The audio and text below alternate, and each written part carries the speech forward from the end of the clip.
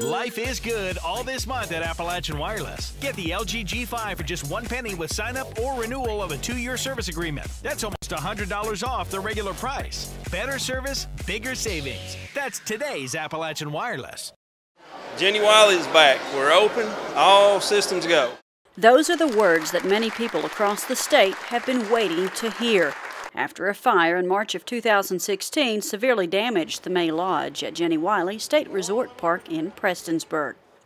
But a year and a half later, the lobby at the May Lodge once again found itself full with standing room only today for a ribbon cutting where state and local officials came to announce that the restaurant and the May Lodge were once again open for business. Officials and Jenny Wiley say the actual fire was contained rather quickly that night, but the water used to put it out caused major damage. You know, it had to be fundamentally re-engineered, and uh, the state has a stringent approval system to make sure things are done correctly. And uh, it's not the speediest system in the world, but when it's done, you can be assured that it has been done correctly. $1.7 million was spent to rebuild the portion of the May Lodge that contains the lounge and the restaurant.